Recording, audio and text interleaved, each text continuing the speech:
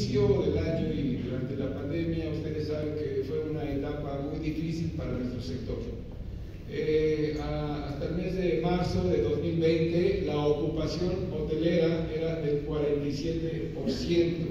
Cuando se declara la pandemia, viene una situación muy preocupante para quienes nos dedicamos a esta actividad. Del 47%,